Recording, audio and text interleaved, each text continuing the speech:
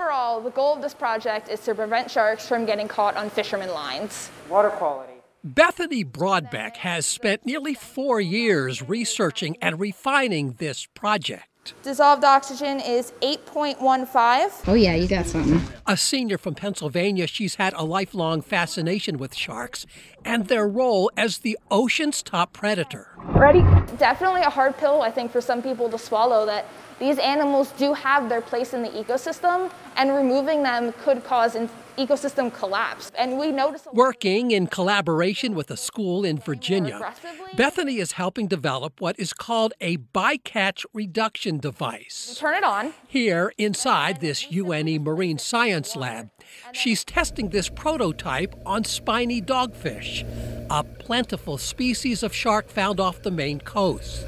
So when I place this in the water, what I'm seeing is how their behavior changes around this device.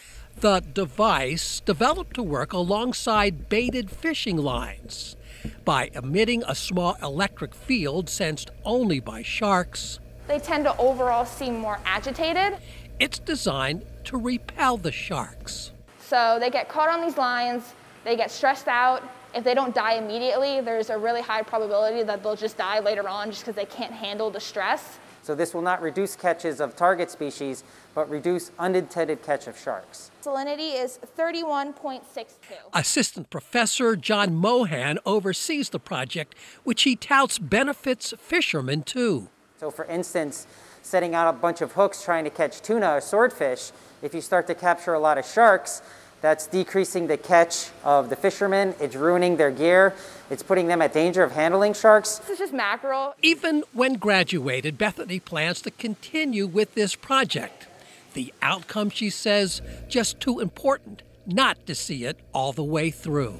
To what extent it fully works is still up for debate, but we know, at least from my trials, that we saw a 50% reduction in sharks biting onto bait, which is huge when you think about it.